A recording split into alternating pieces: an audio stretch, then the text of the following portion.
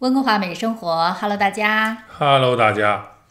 最近呢，来登陆的朋友好像越来越多了。嗯嗯，而且还有我非常熟的朋友也在问，说这个马上要登陆了，有什么要准备的？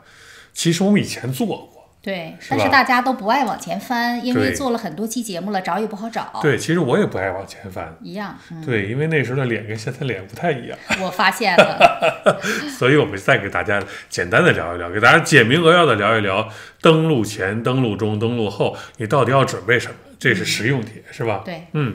那现在已经咱们登录过了三年了，嗯，是吧？其实有很多事儿再回忆起来呢，发现删繁就简，嗯有好多当时觉得特别琐碎、特别难的事儿，其实反而不重要。重要的事儿我们总结出来有几条呢？登录之前，其实最重要的是什么？啊、第一呢，要买保险。哎，这个特别重要，因为呢，新移民登陆的时候，当然呢都知道加拿大这边是有这个医保的，是吧？全民医保。但是刚登陆的时候，有可能你还有至少有在很多省，比如说在 BC 省，你有三个月是没有拿到医保卡的时候，你还是要 cover 掉这个期间的这个医疗和其他的可能出现的风险。就是一到三个月，这个时候呢，你没有加拿大的医疗保险，嗯。这个时候，如果万一在这个时候有一些急症需要看医生，对，这个时候呢，你就用得上这个保险。尤其是这个疫情期间啊，特殊时期，然后呢，还有刚来的时候有一个水土不服啊，或者不适应的时候，这个提前买好一个三个月的一个简单的一个旅游险也好，或者什么过渡期的保险，花不了多少钱，买个踏实，，应该是几百块钱加币就能嗯解决这个大问题。解决大问题，这是一个最重要的事儿，先提前解决这个后顾之忧。第二个最重要的问题是什么呢？啊、租房子，对，租房子其实特别重要。之前我们来的时候呢，实际上是找了我们这边的亲戚帮我们租好了房子，所以来这儿以后就特别踏实。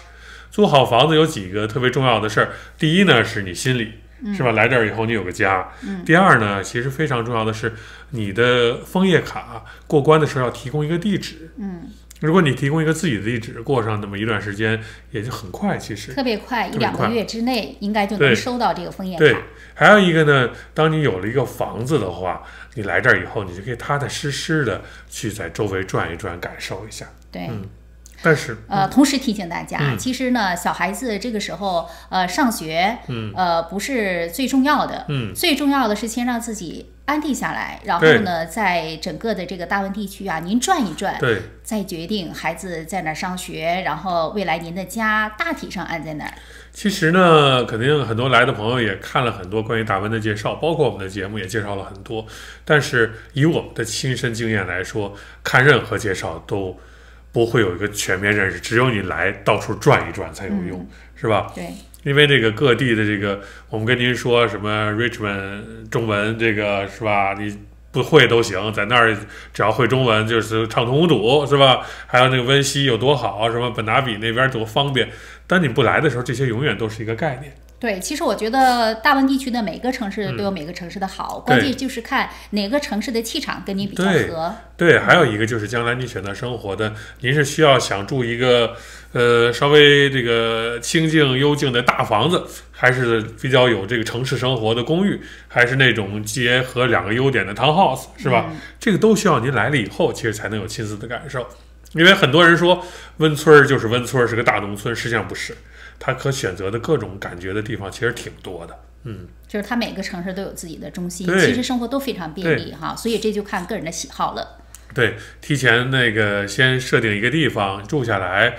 然后呢不着急，将来是孩子上学的事儿，因为这边上学其实很方便。嗯，先带着孩子一起，至少有那么一段时间，先去适应一下这儿的生活，看看这儿到底什么样子，然后再选择您具体的生活地址，对，其实就是只要拿到租合房通，呃，租租租房房合同对，您就可以去带着孩子上学非常简单。对，而且各个城市，其实大温这么多城市，每个城市都有自己的好学区。有很多有我的朋友就问说，到底小孩在哪儿上学最好？这玩意儿没有最好，嗯，哪个城市都有好学校，而且呢，哪个城市的学区也不是那么固定。因为我觉得来这儿的华人其实好像经常会，尤其刚移民，肯定会有一段时间会换一下呀，嗯或者尝试一下不同的地方。所以不要来这儿之前就想着说我一定一劳永逸固定一个地方，很难。不太可能。我们这三年，呃，经验之谈就觉得一下让自己 settle down，其实不是那么容易的一件事儿啊。当然，你还有一个可能呢，有些朋友说是我先找个酒店住，嗯，是吧？也是一种这个方法。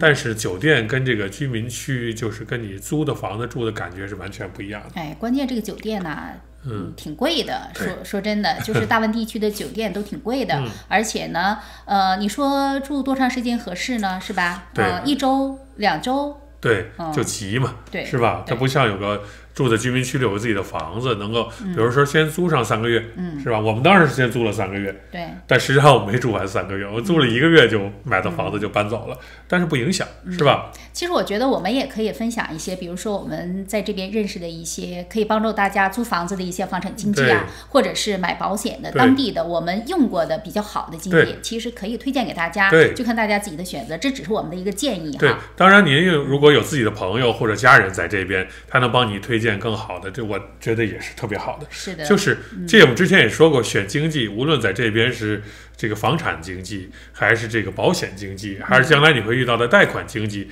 包括买车的人，嗯其实我觉得最重要的一个就是口碑。对，就是您的亲戚用过，您的好朋友真正的用过，您相信的人用过，是他们给您推荐的，其实是最好用的，因为每个人经济都会给自己做特别好的广告，是吧？还是一个口碑，这个东西非常重要。提前呢有租了房子以后，然后提前这个呃买好了保险以后，其实其他的事儿都是一些简单的事儿。哎，还有一个我觉得哈，就是呃。哦，我们是现在是说登录前，登录前的准备 登录前我都已经想到登录后的事儿了。太多了。登录前还有一个就是大家的呃驾照，对啊对对对对对，这个也很重要。有关车的事儿，这就一些稍微这个细节一些事儿，也可以给大家提醒一下，是吧？有关车的事儿，一个是驾照呢，在这边刚开始你来这儿是可以用中国驾照来这个、在这边开几个月车的，还尤其是如果您的驾照是好像是两年以上。的驾龄的话，您是可以到这边不用再通过这个什么实习期啊，直接就可以公证一下，就可以笔试，参加笔试，笔试完了就可以约路考，就可以换这边的正式的驾照。这个有关公证的问题，有很多朋友来问说，我需不需要在国内先公证一下呀？或者是国内的公证认不认？其实这个提您提醒您一下，这个东西完全不着急。嗯，您来到这儿之后呢，就是这边有很多公证的地方，对然后呢也花不了多少钱对，很很便宜。然后您拿到这个驾照的公证呢，就拿到这一张纸，相当于就是一个翻译件，对，持着这个翻译件，您就是可以上路开车了。实际上在这边就是那种持牌翻译，它是有这个，对。他给你翻译一个英文版的你的驾照，然后他在写上他的名字，他的本身是注册的持牌的公证和翻译，嗯。他的这个翻译文档就管用了。对，包括您在这边拿着这个持牌公证的翻译的文件的话，你大街上开车，嗯，有警察拦下来的话，他看不懂你这中国驾照这是什么，然后你把这个给他也管用，是吧？对，还有一个我想提醒大家，就是呃，如果拿着中国驾照，然后在加拿大这边开车的话，建议您在网上搜索一下这边的一些交规，对啊、提前学习一下。对这样的话呢，来到这儿之后，您开车心里就基本上有底儿了。对，那我也可以给您，我们也可以给您提供帮助哈。如果来之前的话，您愿意学习一下的话，您可以那个在底下留言或者加我们节目的微信，我们给您发在这边的驾驶的一个一个叫笔试题笔试题，还有一个叫 smart be a smart driver 还是什么，嗯就是在这边的一些交规、一些需要注意的中文和英文的文件，您，提前学一下，到这边没准您落地就可以去直接笔试，考完了就可以驾照。您这开的好，拿本儿多好，是吧？对，那这个这个题呢，我们也可以免费的私信分享给大家。对，还有一个有关车的事儿呢，就是您来之前的话，老司机嘛，肯定您开的特别好，就是最好去这个保险公司开一下您这个您和您家其他开车的人，然后这几年没有出险的记录。这是保险公司开的哈，呃，超过两年或者三年以上的话，您来这边拿这个保险记录，在这边买车再上保险的话就有折扣，对省钱。对，省钱很重要。还有一点提醒大家，如果就是您呃到了加拿大之后呢，如果想考这边的驾照，对那如果当您拿到这边的驾照之后，那您中国的那个驾照可能就要被收回了要。上交了，所以嗯这个时候呢，大家要想办法，因为你这个驾照一一旦交上去，将来您再回中国那边的话，可能呃就没有驾照了哈。但是没关系，如果再回国的话，可以补办，可以补办，就是挂失嘛，啊，就是提醒大家一下有。个小技巧，您这个提前挂失一下也行哈。嗯当然这个可能有点儿啊，反正我就觉得大家想办法吧，自己 自己肯定有办法。我们只是提醒大家，就当这边的驾照在换发的时候，对他会收走您的中国驾照。最重要的事儿搁在最后边，就是来了以后，您可能还会有很多需要再带过来的家具也好，需要带过来的这个您的私人物品也好，可能价值比较贵，是吧？作为新移民的话，您这个第一次登陆，您先来的新移民阶段来带这些东西是可以免税的。但是这个免税呢是要有个文件。以我们自身为例，我们当时呢，呃，在登录之后，过一段时间，用一个集装箱把我们原来用惯的家具啊，包括一些电器啊、一些盆盆罐罐啊什么都搬过来了。嗯。但这些东西呢，最好是您在登录之前，呃，在移民局的官网下载一个它的表格，表格呢可以填写您即将要带来的这些所有的家具和您随身物品，拍照片填写登录。登陆的时候呢，在办那个就在机场办那个，下了飞机就到海关那里，然后提交给海关人员。他们给你盖章，盖上章，那么将来您的这些家具啊，通过海运来的时候呢，就不会收取一分钱的这个税，因为加拿大呃购买这些商品呢税非常高，至少是百分之三十三的税，对，那这部分钱您就能省下来就是了，而且这边的家具本身也比中国贵很多，对，当然呢，这是有一些家具爱好者啊，嗯对，就是有您特喜欢的家具是吧？有设计感的，对然后呢，你的材料呢也比较贵重的，我觉得还值当哈。您去做一下这个 list，然后到海关那儿去给您盖章。对如果说家里现在都是那种宜家呀什么这种啊，类这边的宜家似于这种也一样，对，所以这种的话也就算了，因为海运的钱也不便宜。当然有一些刚才我说家具爱好者，的确我也听说有的朋友喜欢红木家具，对，你要在加拿大买红木家具，那可就贵了去了。嗯他在来之前专门去广东订了一行全新的红木家具，然后拍照片，也可以第一次新移民免费带来。对，其实呢，包括一些就是不只是这样红家具，我想就是呃中国传统的那种风格的呃中式风格的家具呢，你要是在加拿大这边寻找的话也很难，而且价格非常高。对所以说如果有这些打算的朋友，想在登陆之前之前的话呢，就把这些工作呢都准备好。不只是家具啊，你看我将我当时还带了我的这个发烧音响，嗯，家庭影院，嗯，反正您喜欢的这些价值贵重的您的这个家私啊，对，甚至什么首饰啊、表啊包一类的，啊还有就是呃贵重的一些奢侈品包包啊，这些都要在那个 list 上。但是他的包我拍了好多张照片呢，对，如果要是不拍的话，人家就认为是在这边购买。新买的。对，新买的有可能就会收你的税。对，说到这儿，有关免税的这件事儿哈，还有一个特别重要提醒的，就是您在登录之前，最好找一个公证的地方，把您现在持有的房产也做一个公证。这样有什么好处呢？证明这些是你在移民之前您的资产。这样的话，当您移民之后，将来您把这房子卖了以后再带过来的话，